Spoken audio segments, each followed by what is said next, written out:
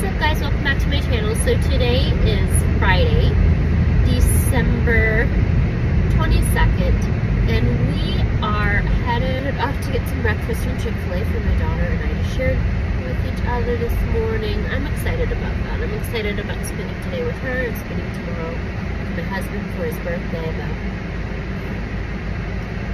But um, just something to think about to remember not to put people on a pedestal. If you could just take everyone in your life and picture that person at their worst and not hold anyone far beyond that standard.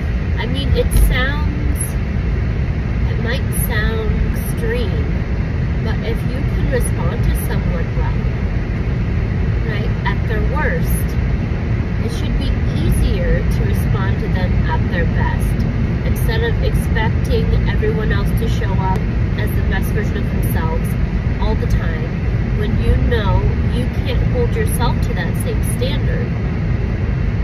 So the only person that should be on the pedestal is God. And if you take everybody else off, you'll be stressed out, you'll be less disappointed, you'll find it's easier for most likely easier for you to get along with people because you're being honest with yourself that none of us are perfect.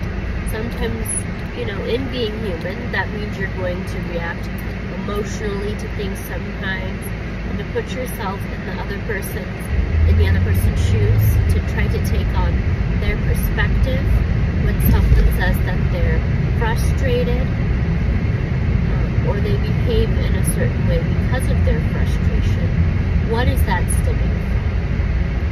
Sometimes that means you're not going to be able to respond to the person in the moment. You might have to wait a couple of days.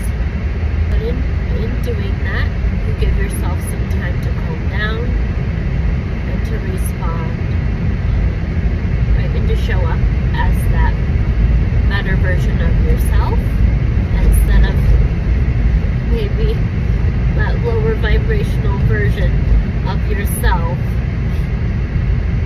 that matches their energy. So I love you guys and yeah, don't show up as that lower vibration of yourself in front of someone else to match their energy. We want to like continue raising the bar right? You raise the bar with yourself. You help the other person see that, oh, okay, I can, I can show up this way with Veronica. I can show up this way with so-and-so because they've given me the opportunity to do that by showing me that there's another way. By leading by example. I love you guys. I will see you in